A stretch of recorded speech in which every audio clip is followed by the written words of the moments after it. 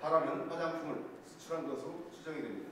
협회하고 또 업계 여러 가지 의견을 좀 들어보면서 어, 정부가 또 여러 가지 그 이런 그 위기를 맞이해서 위기를 기회로 삼아서 화장품 산업에 재도약을 할 수 있는 어, 그런 방안들을 모색하는 어, 또 이를 통해 가지고 더 근본적인 경쟁력을 강화해서 어, 이- 이러한 위기가 기회가 되도록 좀 해보고자 어, 오늘 이렇게 간담회를 맞이하게 개최하게 됐습니다.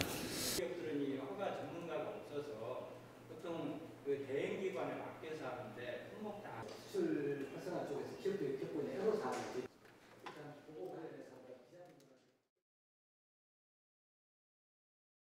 통과하여 현 체제를 체제를.